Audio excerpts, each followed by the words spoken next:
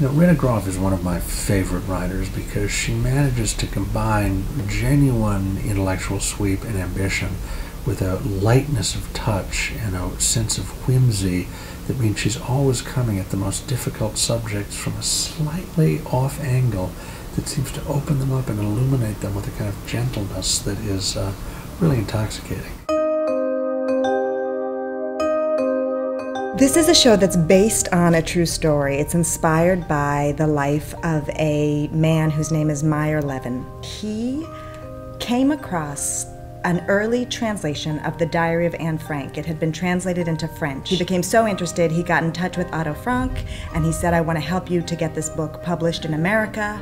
And he did that, and he wrote a New York Times book review of the book, and he was very involved and very in love with the diary and with the girl who had written the diary who died in the Bergen-Belsen concentration camp. One of the beautiful things about compulsion is that there is uh, uh, extensive work of puppetry throughout an enchanting world of puppets within compulsion that give it an extra theatrical dimension that it's both really exciting and also completely appropriate to the content of the piece. Because their faces don't move, it's we in the audience who bring the emotions to marionettes. We project things onto them.